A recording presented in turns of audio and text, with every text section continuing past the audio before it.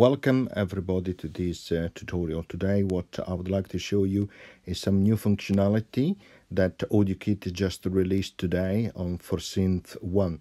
So you have now the ability to record.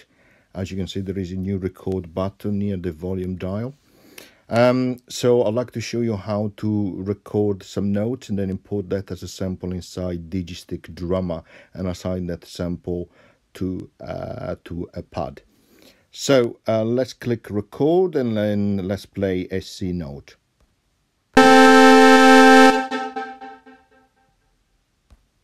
Okay, we stop that, pressing on the same button. Let's then click save to files. Then let's select um, under uh, your iPad the Digistix, under Digistix the samples folder and let's click save. Okay, great.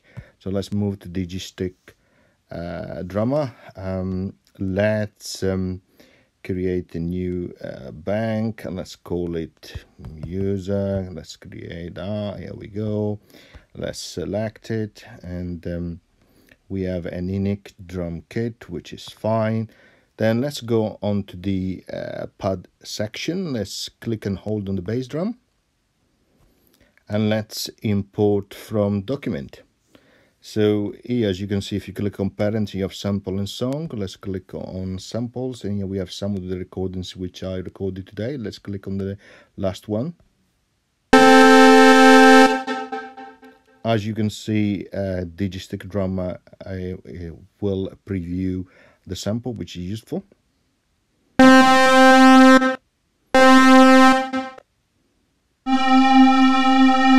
Okay. Let's select the last one. Let's click on import. And then let's click OK. Now let's select the bass drum, which I can also rename later on.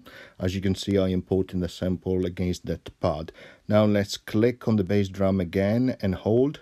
And let's now select the melodic remap.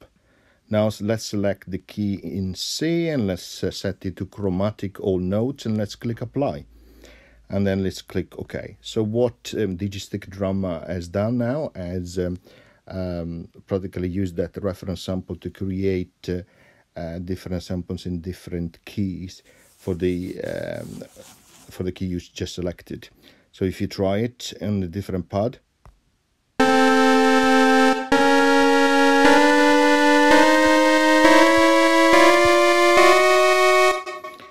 and this is a useful uh, function because you if you don't have uh, all the different samples for each uh, individual note you can reference that sample and then Digistix Drum will create automatically uh, the other uh, samples for the different notes in the key that you selected. Um, as you can see, you can preview also the sample, which is quite useful. Um, that's it for today. And quick short tutorial. I hope you found this useful. Uh, see you next time. Thank you. Bye.